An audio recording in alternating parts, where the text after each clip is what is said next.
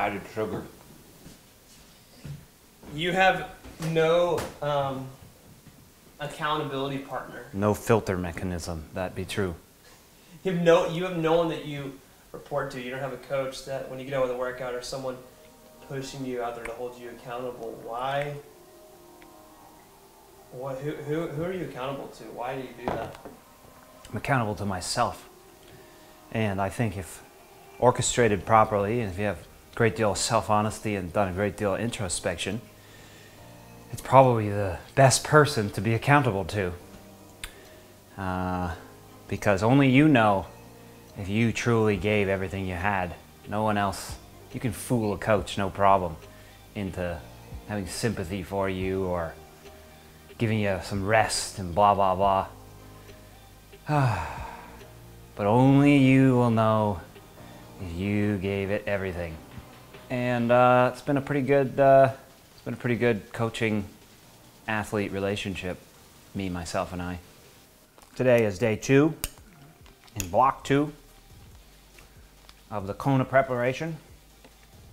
And uh, so yesterday I had a really hard bike workout, run off the bike, pretty pretty good quality swim. So today's usually pretty hit and miss. Sometimes I feel decent, other times I feel absolutely terrible.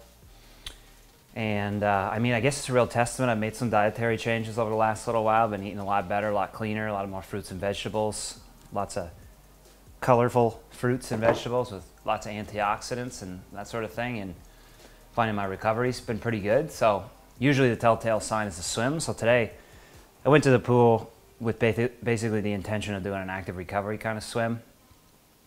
But it felt pretty good, so I was able to get it up, you know, half decent intensity. I swam 4,200 meters Do a nice little easy technical little bike ride. Basically, one of my big lessons I learned in Kona was I'm a pathetic bike rider. I can push power, and that's good. Definitely want to do that, but you also need to be able to handle your bike. And so, and, and, and not only there, in Oceanside, last time I met Jan, he definitely put a lot of time into me in the technical sections of the race. So that will be the last time people will put time into me in the technical sections of the race. So now I do all my easy rides. I just go ride around on a walking path, and it's quite uh, it's quite technical. It's a little narrow thing. People, children, dogs, baby carriages, lots of stuff to avoid amidst the technical. And I try to do as many of the corners as I can in the time trial position too. So. Um, I know I'm starting to improve because Erin came for a ride the other day and said she cringed because I went around a couple corners so fast. So.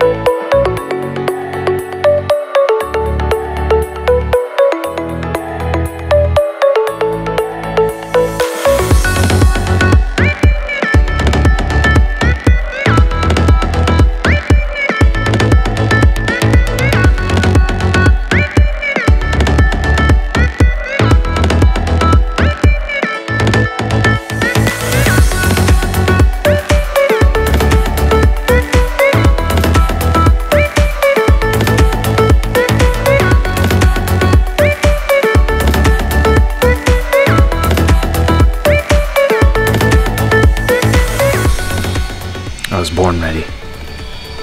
Let's do it.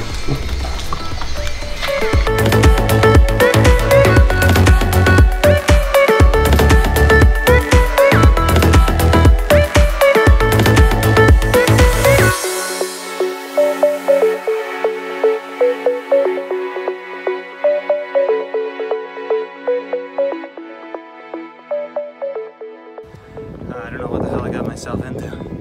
That's what's going through my mind. 1005, 1004.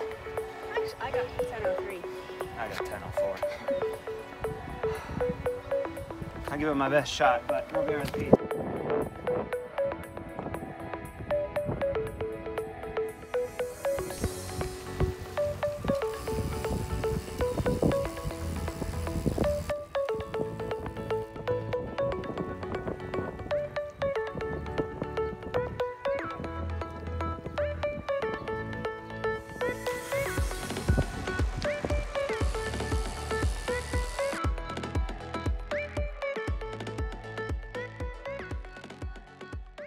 In running, it's very important that you, you become one with yourself, one with the environment.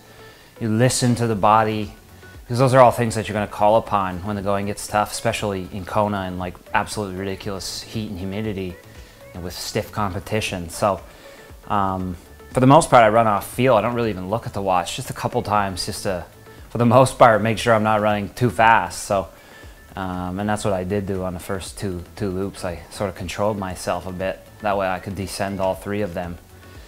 So that's the name of the game. I don't really, um, I don't really kill myself too often in, in the sense of you know applying things to myself. I just kind of get out there and get the work done. And usually, fortunately, this is how you see how you're wired.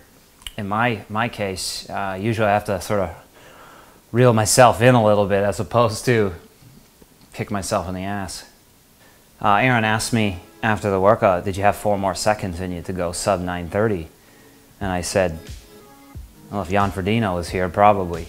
So uh, you always, you you probably always have more with the right circumstances.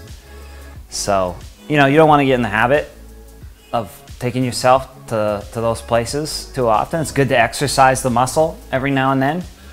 Uh, but for the most part, how you get yourself in great shape is just day in and day out doing quality work, not these heroic kind of efforts. They're good to do every now and then because you may need to do a heroic effort. But you certainly don't want to do a heroic effort every single practice, every single day.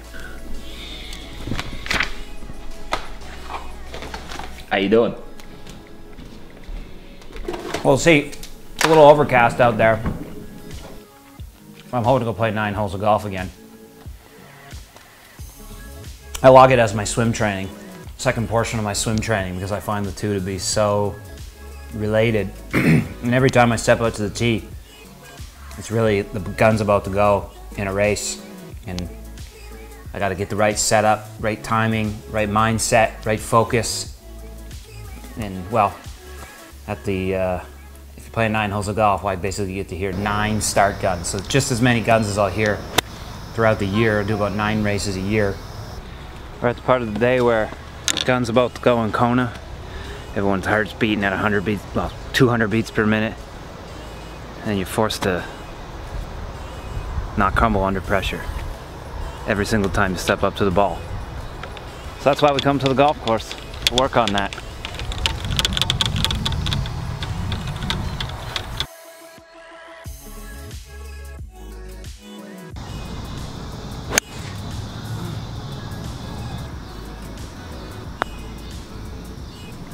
Oh God.